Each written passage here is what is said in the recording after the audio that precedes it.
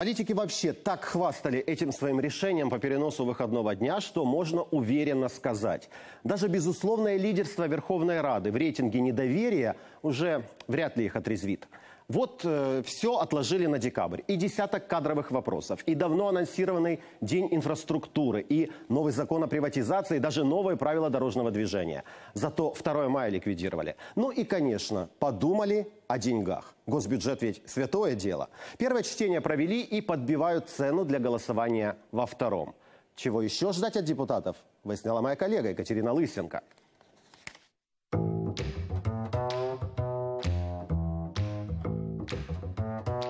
Они начали неделю с бюджета. После заключения комитета прошел месяц, и у нардепов было достаточно времени, чтобы изучить бюджетную арифметику. Изучили і на критику не скупились. У цьому бюджеті ми будемо захищати українську медицину, яка є недофінансована, коли з міських бюджетів забирають гроші і віддають на поліцейську державу, фінансуючи прокуратуру, МВС.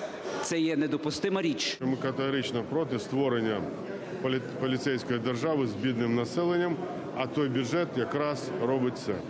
Ми надали свій варіант бюджету, ми надали пропозиції в бюджетний комітет і вважаємо, що вони справедливі для людей, коли зменшуються виплати силовикам, зменшуються комунальні тарифи і закладаються додаткові доходи в бюджет за рахунок реальної інфляції.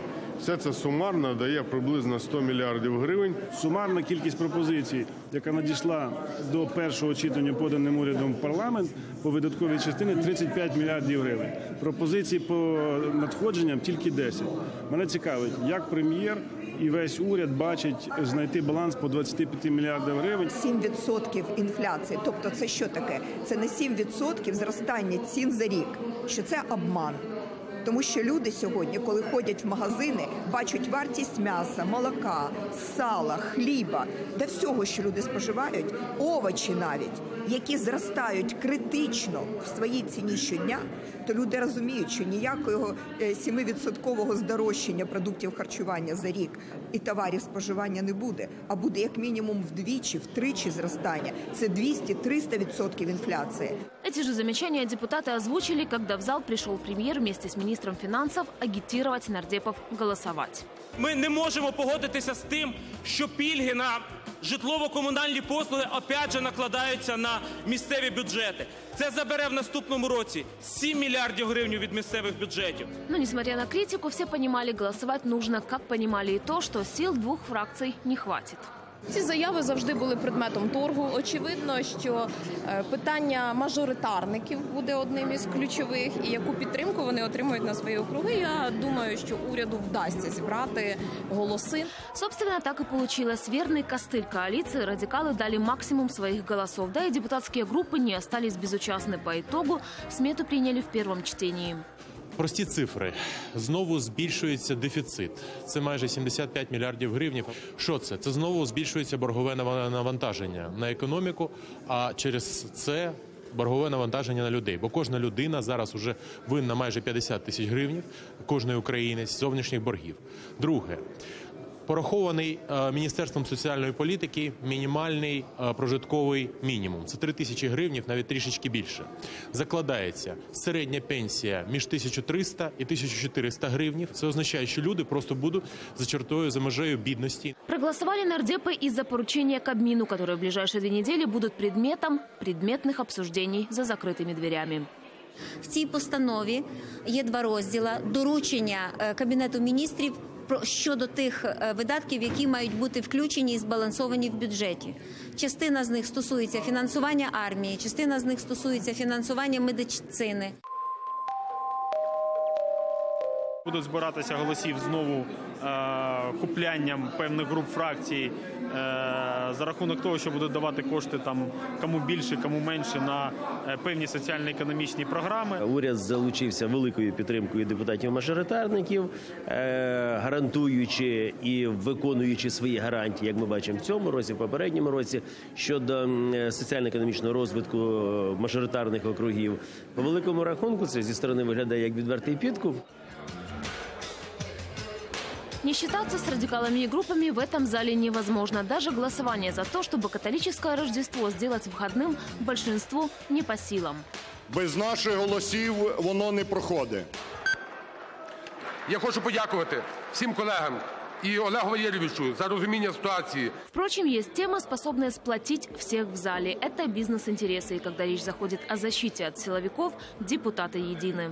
Я зневажаю тих силовиків, Які вдівають погони правоохоронних органів і використовують всі можливості для того, щоб тиснути на чесний прозорий бізнес, створюють маски шоу, обшуки, блокування, вилучають у них техніку, первинну документацію.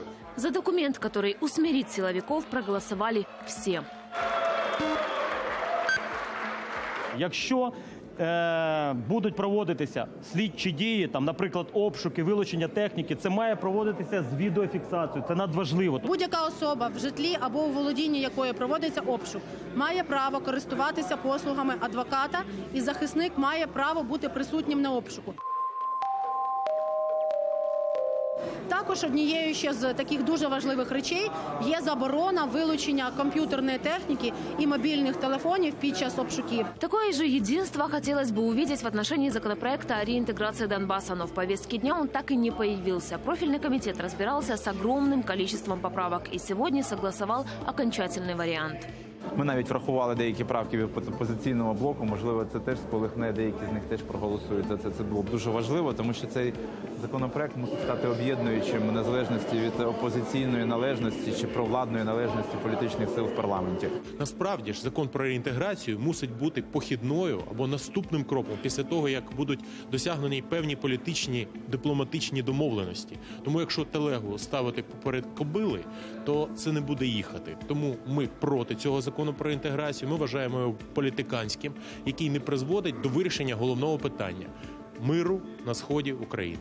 Теперь нардепы ушли на двухнедельный перерыв, а кроме Донбасса и бюджета у них гора нерешенных кадровых вопросов.